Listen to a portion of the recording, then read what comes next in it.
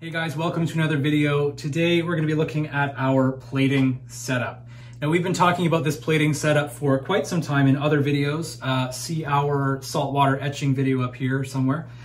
Today I just want to kind of demystify and explain some of the findings that I've come to with the plating in general.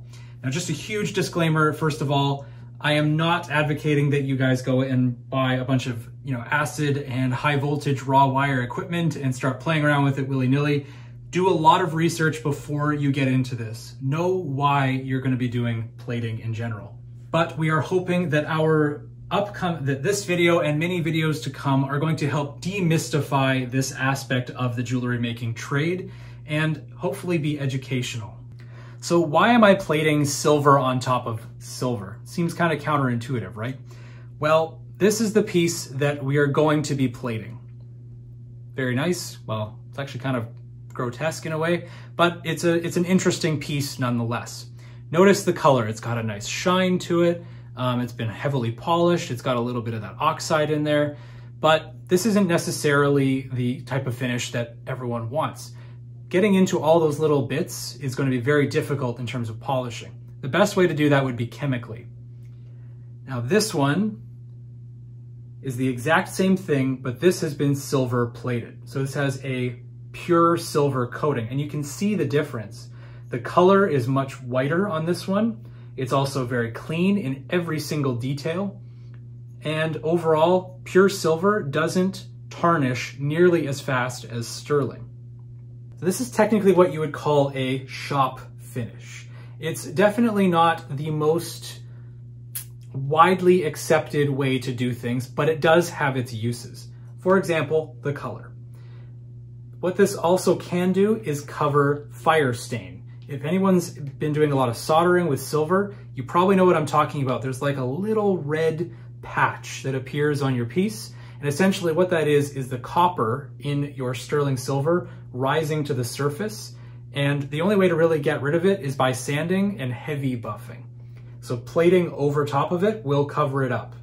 And do you wanna know what the best part is about this? This piece has not been polished. This came pretty much straight out of casting into pickle. Then I filed off the sprue from the back, cleaned it, and plated it. So this one, if you look very closely, you can see some of the details, especially in these little kind of like cheek horn things, have been worn down. On this one, they're actually still really sharp. So there's definitely a good reason for doing this. So let's talk a little bit about some of the tools that we'll be needing for this. Let's start with the power source. This is also known as a rectifier, and you can get these from uh, various sources. You can get them from Pepe Tools. They have a whole series of them. But essentially, all it really is is a DC power source that is adjustable. That's the very key thing. It has to be adjustable, and you have to be able to adjust the current accordingly because not all of these solutions work at the same voltage. This silver solution, for example, works between 2 and 3 volts, whereas the copper solution works between 1 and 2 volts. Uh, others might require half a volt. Others might require a lot more than that. It's really depends on what you're doing and also how big of a solution tank you're working with. Now with our small setup, these 1000 milliliter beakers, this is more than ample. This power source we got off Amazon for I think about 150 bucks. I'm just kind of ballparking.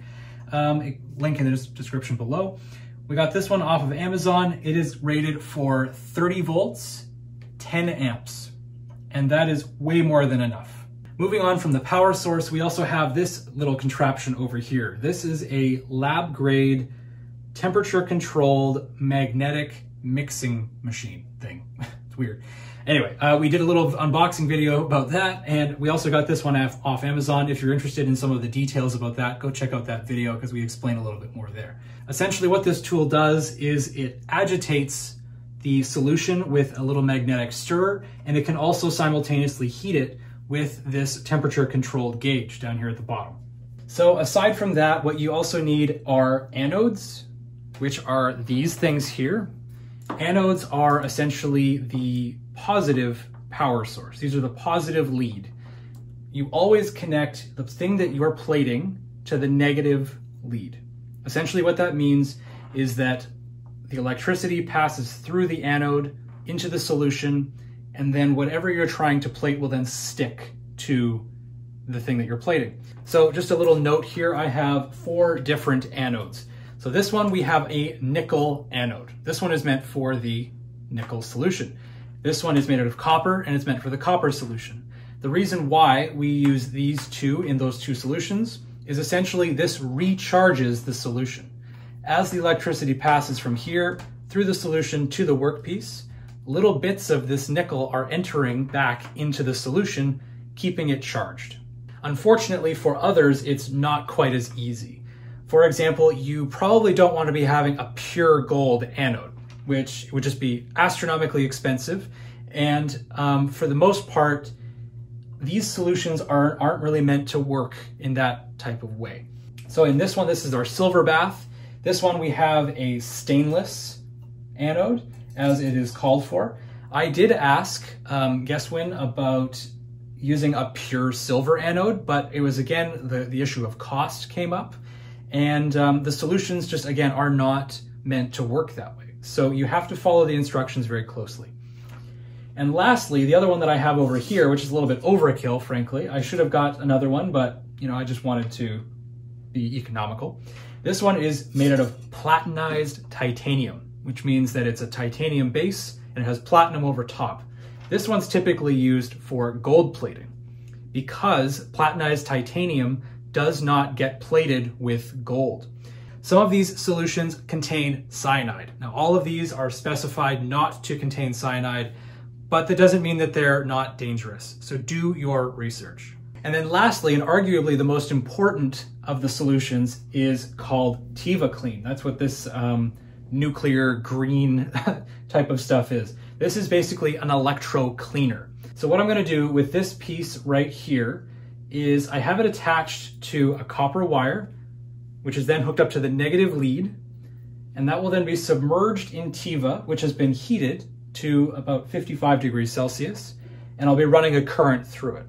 What that does is it runs a current through the piece, well, all of it actually, but through the piece more specifically, and what you'll see are little bubbles that come off of the item. And what that's doing is blasting, essentially, all of the grease and contaminant, uh, polishing compound, what have you, off of the surface, making it absolutely clean. Because if it's not clean and we go into a plating solution, you'll get a spotty um, kind of resist. You know, like a big fingerprint on the top of your piece will definitely show up when you do a plate and it'll be very uneven. So it's very simple. We have the piece lined up here. My uh, little heating thing here has like a little tower, which is very handy, I've found. Uh, not all of them have that, so I guess another good reason to go on Amazon and get one. And then here we have the positive lead to the anode on the bottom. This is now submerged and I'll turn this on. Now at the moment we're running 2.14 volts through the piece. I'm going to adjust this up to 3 volts because that's what it's rated for. And it's also easy for when we go into silver, which is rated for 3 volts as well. Now, assuming you don't get this exact rectifier, get one that at least has coarse and fine adjustment. I'm finding that if I didn't, if I only had the one, that knob better be really, really exact because if I just move this one millimeter, I go from three to like 3.8, which is way too much. So we're gonna let this piece electro clean in the Tiva solution for about a minute. It really depends on the size of the piece that you're working with. For smaller jewelry, you definitely don't have to go that long. It's kind of at your discretion. A lot of these solutions come with a, a between, like a minimum amount that you're supposed to work with uh, in the solution but there's really no exacts. It's kind of, you, you learn as you work. Does it look right? Nope, okay, back in for another 30 seconds or so. So we've been letting this piece uh, clean for a few minutes and it should be done by now.